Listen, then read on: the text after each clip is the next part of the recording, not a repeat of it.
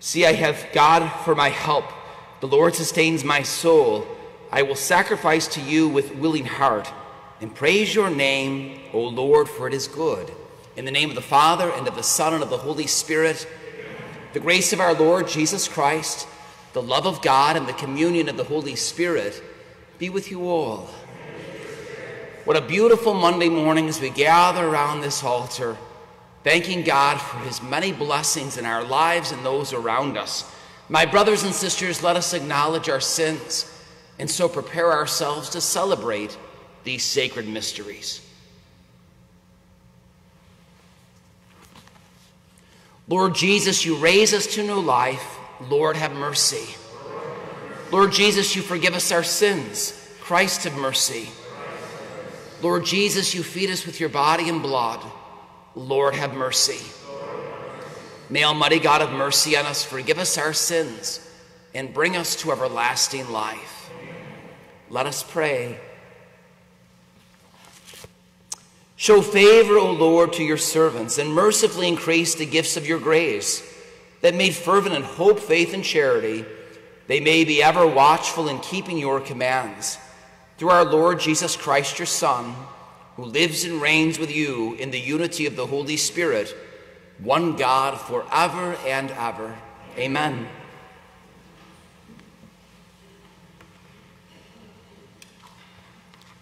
A reading from the book of Exodus.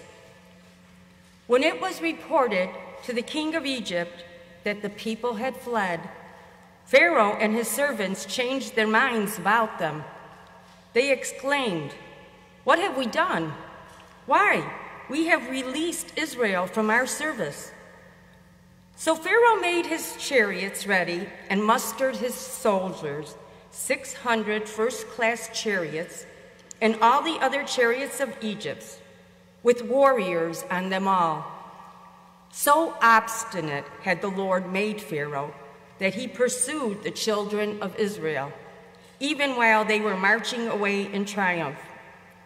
The Egyptians then pursued them.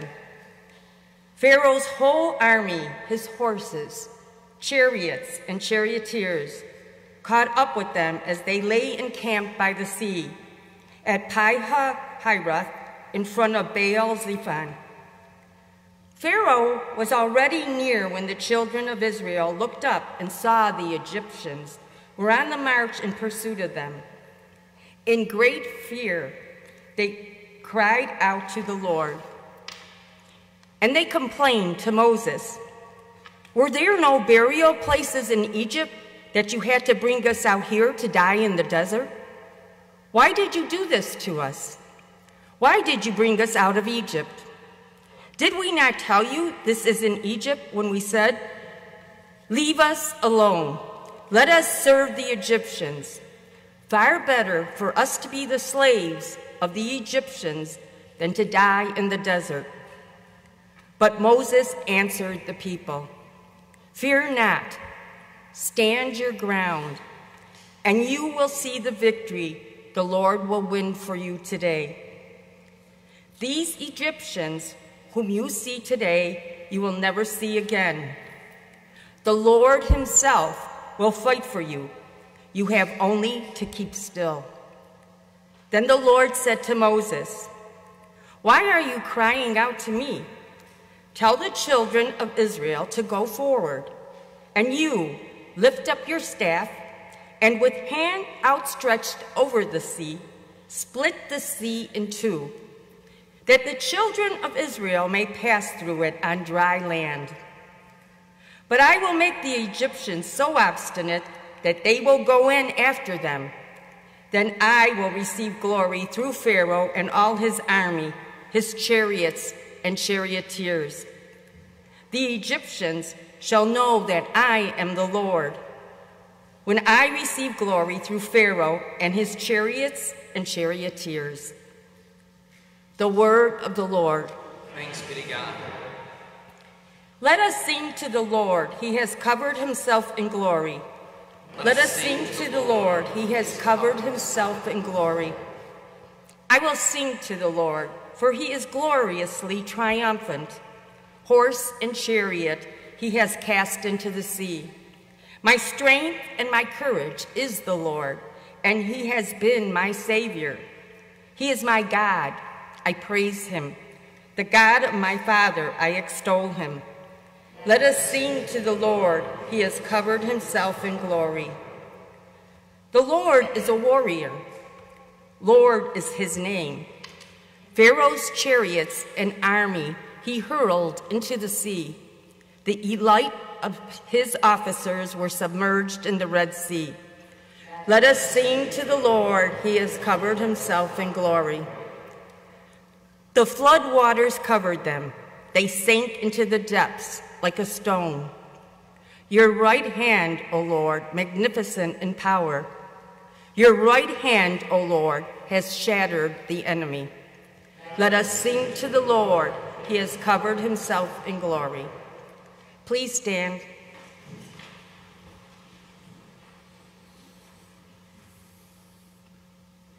Alleluia, Alleluia, Alleluia, Alleluia, Alleluia, Alleluia, Alleluia, Alleluia. The Lord be with you. A reading from the Holy Gospel according to Matthew. Glory to you, O Lord. Some of the scribes and Pharisees said to Jesus, Teacher, we wish to see a sign from you. He said to them in reply, An evil and unfaithful generation seeks a sign, but no sign will be given it except the sign of Jonah the prophet. Just as Jonah was in the belly of the whale three days and three nights, so will the Son of Man be in the heart of the earth three days and three nights. At the judgment, the men of Nineveh will arise with this generation and condemn it, because they repented at the preaching of Jonah. And there's something greater than Jonah here. At the judgment, the queen of the south will arise with this generation and condemn it, because she came from the ends of the earth to hear the wisdom of Solomon. And there is something greater than Solomon here the gospel of the Lord. Praise to you, Lord Jesus Christ. This is really one of those days where our first reading as well as our gospel, they, they both speak huge passages to all of us in, in just in, in, as, as Catholics. Our first reading speaks of the parting of the Red Sea.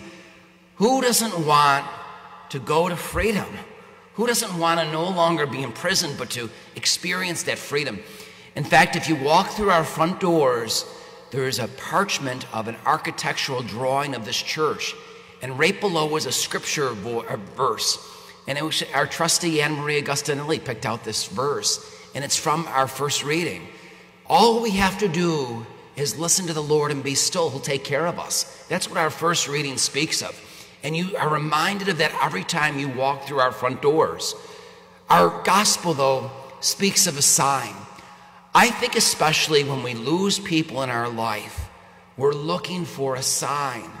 So, Thursday, when I celebrated the committal portion or the interment at the cemetery for Bo Clenshaw, it was a sunny day and there was a gentle breeze with the trees. And I talked about what a beautiful day that you know, God's showing us that Bo would be okay. I remember being at Holy Cross Cemetery with people, and as I'm praying the prayers, the bells of Our Lady of Victory Basilica would be chiming. And I would know it's that order that God is telling us to that family, that, that God will make sure that they see that loved one through. I thought it in my own families too. I thought it in my own experiences in life where God has shown me these signs but what Jesus is saying today is the greatest sign that we have is the Eucharistic sacrifice. We don't need any other signs but that. We don't need signs from the wind blowing or the sun outside. Certainly, we want to see them. But when we're in touch with the Eucharist and we're in touch with Jesus laying down his life for us, that's the greatest sign of them all. That's what we see in our gospel. But we need these signs because of the size of who we are. We're such a speck in the universe. And God lovingly gives us these signs. As I talk to Romeo, he answers our prayers, right? When, when we ask him those prayers. If we think of Oscar in surgery, he was there in thanksgiving to you, you know, to make sure that he answered the prayers that we asked. And we think of all the blessings of the Santiano family, and for all of us gathered here, God has shown us so many ways of signs, so many ways in which we've been trapped, and He offers us that freedom. But just as that verse says, as you walk through our front doors, that's in today's reading, all we need to do is we need to be still because God is always around us. We don't have to worry about things. If we trust in Him, He will see us through. So today, as we enter into the Eucharistic sacrifice, that's about the greatest sign that you can have. And as Christ comes to you in communion, may you know that you connect to another world, to heavenly banquet table. And God is the author of all life, who shows us signs every time and every day in our life. And today, as you begin the day and go outside and, and go about your regular everyday activities, look for signs of God in your everyday experiences today, and you most certainly will find a lot of signs. Please rise now for the intercessions. Recognizing God's supreme power, we bring our needs before Him, trusting in His goodness and His loving signs, as well as in His providence. For all the faithful throughout the world, for all of us, as we begin this new day, may the Lord continue to bless us with courage and charity in proclaiming the truth of the gospel by the way we live our lives. And also may we come to a deeper awareness of the signs of God's love. We pray to the Lord. Lord, hear our prayer. For leaders, for ways in which we're leaders in our families, and our communities, may God bless our work to protect the dignity and the sanctity of all life around us and entrust it to us in our relationships. We pray to the Lord. For all those whose burden seems overwhelming or insurmountable, we pray for our paracyclist, all those in need of our prayers. We pray for all those loved ones in hospitals and nursing homes and rehab centers. Pray for all the ways in which we need God's healing grace.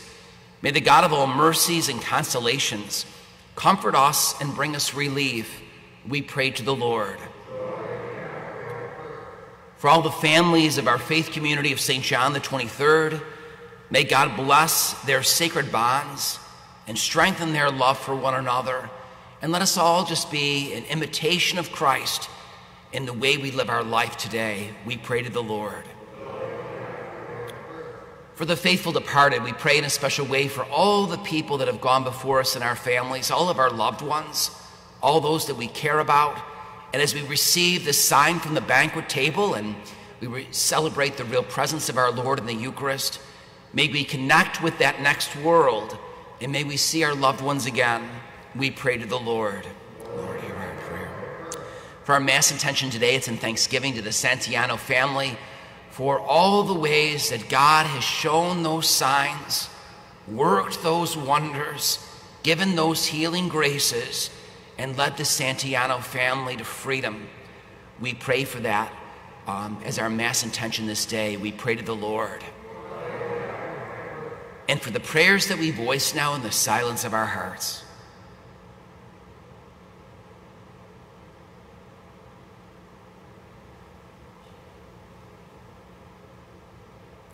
We make these prayers through the intercession of St. Joseph. We pray to the Lord. Lord God our Father, your providential care extends to all creation, and you know our every need. Grant these petitions through your Son, Jesus Christ our Lord. Amen.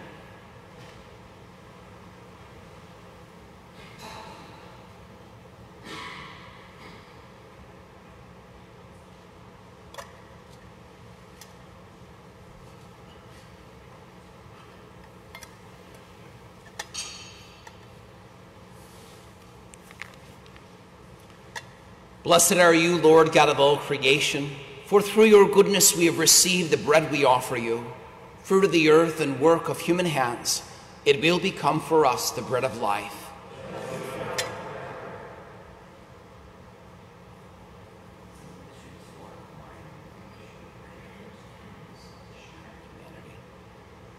Blessed are you, Lord God of all creation, for through your goodness we have received the wine we offer you fruit of the vine and work of human hands. It will become our spiritual drink.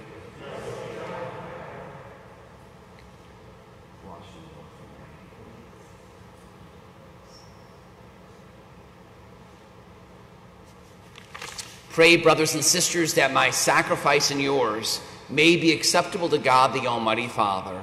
May the Lord accept the sacrifice at your hands for the praise and glory of his name, our good and good of all, his holy church. O God, who in the one perfect sacrifice brought to completion varied offerings of the law, accept, we pray, this sacrifice from your faithful servants, and make it holy as you bless the gifts of Abel so that what each has offered to the honor of your majesty may benefit the salvation of all through Christ our Lord. The Lord be with you. Lift up your hearts. Let us give thanks to the Lord our God.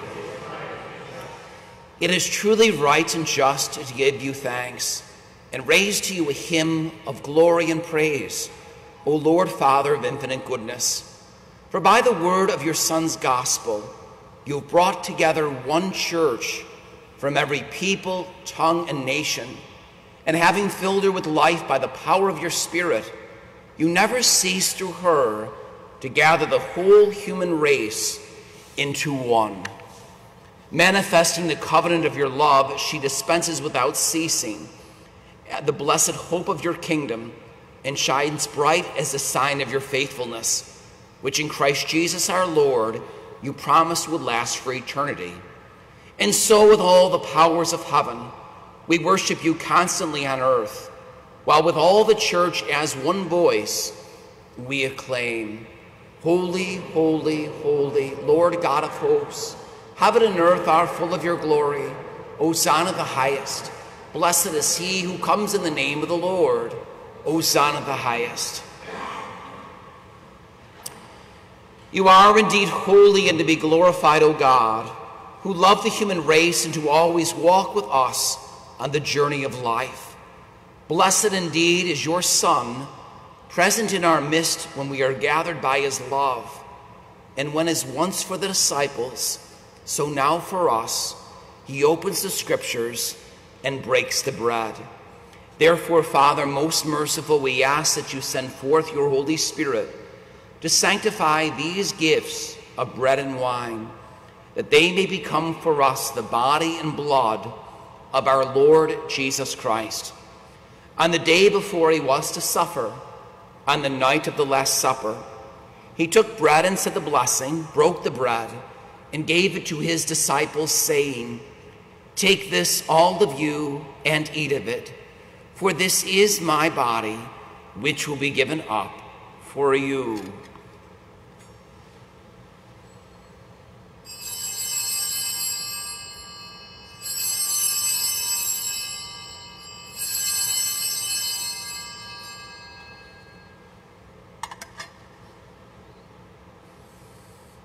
In a similar way, when supper was ended, he took the chalice, gave you thanks, and gave the chalice to his disciples, saying, Take this, all of you, and drink from it. For this is the chalice of my blood, the blood of the new and eternal covenant, which will be poured out for you and for many, for the forgiveness of sins. Do this in memory of me.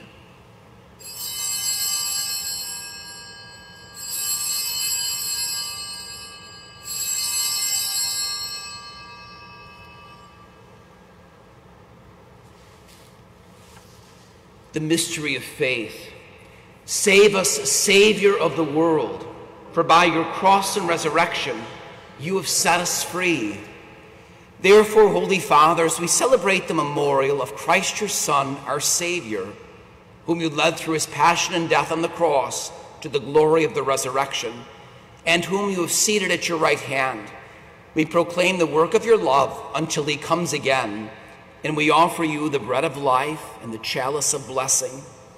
Look with favor on the oblation of your church, in which we show forth the paschal sacrifice of Christ, that has been handed on to us, and grant that by the power of the Spirit of your love, we may be counted now and until the day of eternity among the members of your Son, in whose body and blood we have communion. Lord, renew your church by the light of the gospel. Strengthen the bond of unity between the faithful and the pastors of your people, together with Francis, our Pope, Michael, our Bishop, and the whole order of bishops, that in a world torn by strife, your people may shine forth as a prophetic sign of unity and concord. Remember our brothers and sisters who have fallen asleep in the peace of your Christ, and all the dead whose faith you alone have known. Admit them to rejoice in the light of your face, and in the resurrection, give them the fullness of life. Grant also to us, when our earthly pilgrimage is done, that we may come to an eternal dwelling place and live with you forever, there in communion with the Blessed Virgin Mary, Mother of God, with blessed Joseph, her spouse, with the apostles and martyrs, and with all the saints, we shall praise and exalt you through Jesus Christ, your Son. Through him and with him and in him, O God, Almighty Father, in the unity of the Holy Spirit, all glory and honor is yours forever and ever. Amen. At the Savior's command, informed by divine teaching, we dare to say, Our Father, who art in heaven, hallowed be thy name. Thy kingdom come, thy will be done, on earth as it is in heaven. Give us this day our daily bread, and forgive us our trespasses, as we forgive those who trespass against us. And lead us not into temptation, but deliver us from evil. Deliver us, Lord, we pray, from every evil. Graciously grant peace in our days that by the help of your mercy we may be always free from sin and safe from all distress as we await the blessed hope and the coming of our Savior, Jesus Christ. For the kingdom, the power, and the glory are yours, now and forever. Lord Jesus Christ, who said to your apostles, Peace I leave you, my peace I give you, look not at our sins, but on the faith of your church and graciously grant her peace and unity in accordance with your will, who live and reign forever and ever. Amen. The peace of the Lord be with you always. In our own indirect way, let us offer each other a sign of Christ's peace.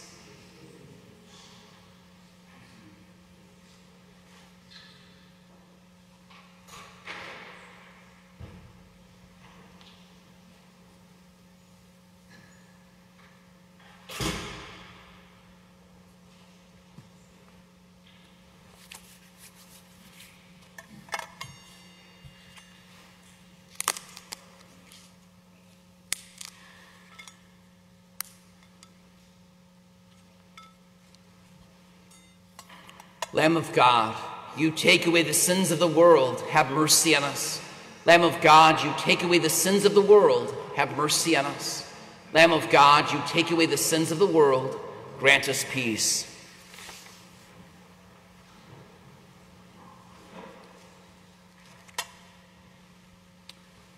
Behold the Lamb of God. Behold him who takes away the sins of the world. Blessed are those called to the supper of the Lamb. Lord, I am not worthy that you should enter under my roof, but only say the word, and my soul shall be healed.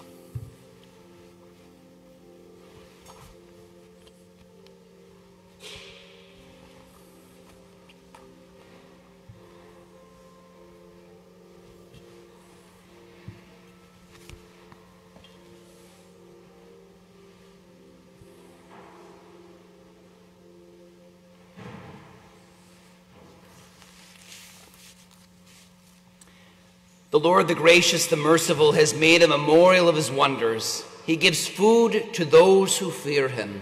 Let us pray. Graciously be present to your people, we pray, O Lord, and lead those you have imbued with heavenly mysteries to pass from former ways to newness of life through Christ our Lord.